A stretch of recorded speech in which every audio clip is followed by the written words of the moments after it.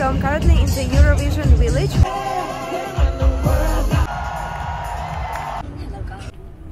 Hello everyone from Liverpool. It is quite loud because there are kids, but hopefully you can still hear me. I made it to Eurovision Song Contest, which was super last minute, and I'm coming here with my friend. We have just checked into the hotel and we are going to the arena to get a press pass and we actually got tickets for the live show from TikTok, which was incredible. I did not expect this uh, to happen and we'll see today lots of performances. Maybe see artists uh, behind uh, the stage as well in the press center. Let's go explore liverpool and the arena itself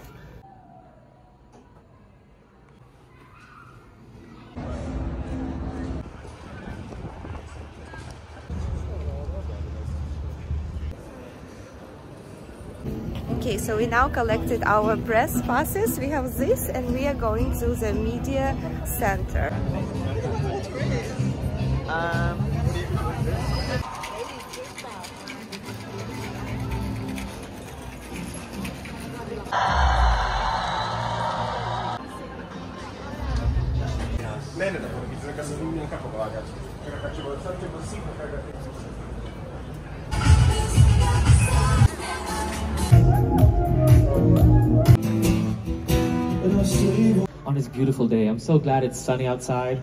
You guys ready to party?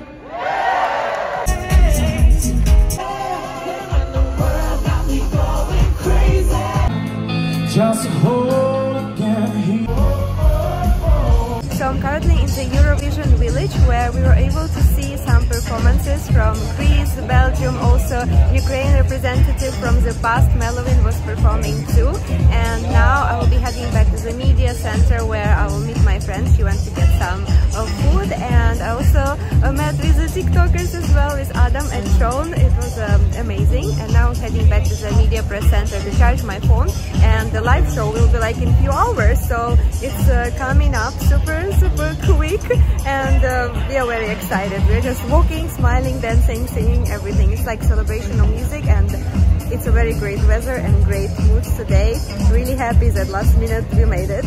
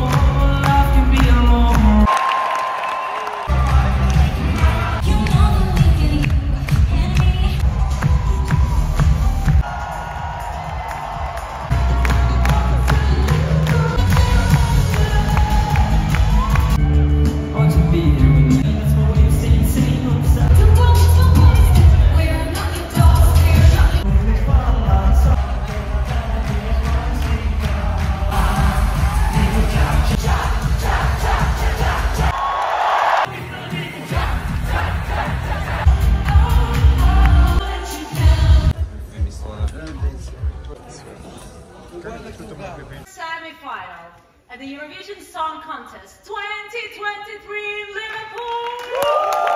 Thank you so much for being with us. Thank you to you all.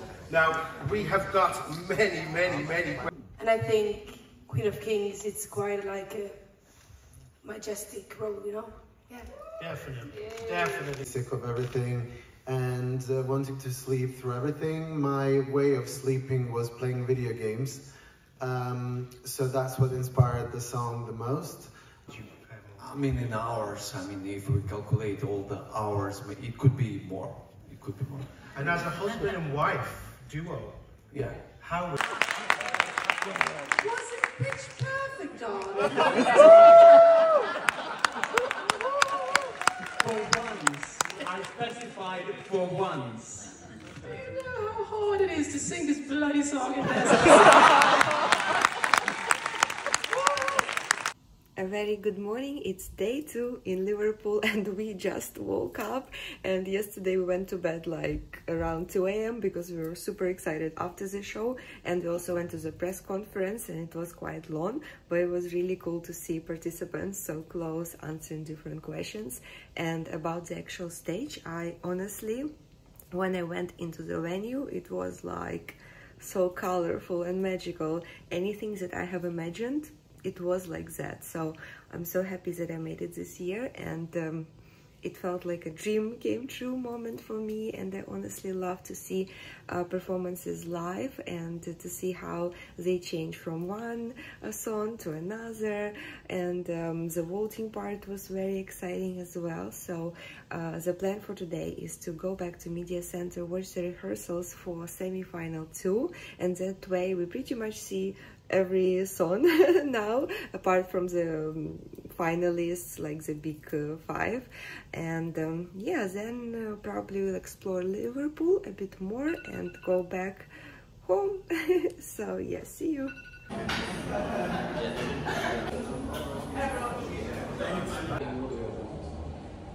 our day two of our Eurovision day.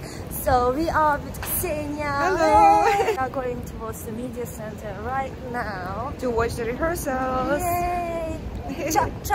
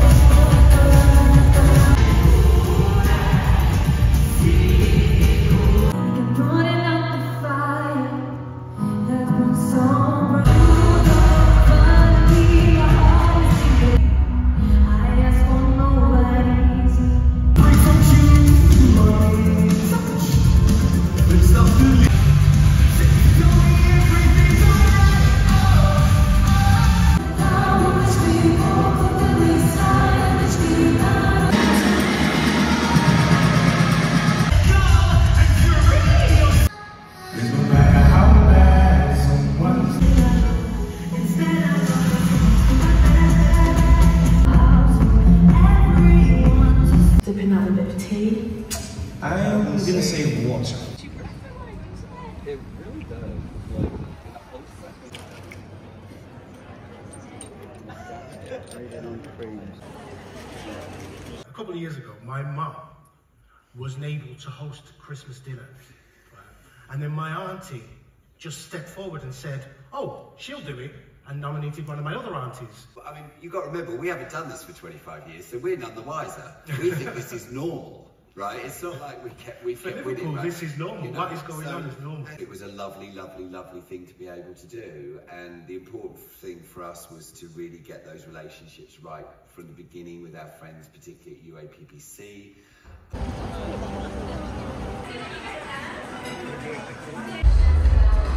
I just had lunch with uh, As I've heard, there are some fans of Bieber, so I think it'll be lovely if we do a quick cameo. So I just had lunch with my friend and now I'm in the center of Liverpool going back to Eurovillage because I have only one hour left in this city. I'm going back to London. We'll be watching the rest of Eurovision on TV screen but the whole experience has been incredible. I cannot believe I saw everything live. It's honestly, like I said, dream came true and I'm actually very sad. I don't want to leave and I want to come back next year for the new location where it will be. We don't know but um, yeah, it's been really, really nice to spend a few days in Liverpool.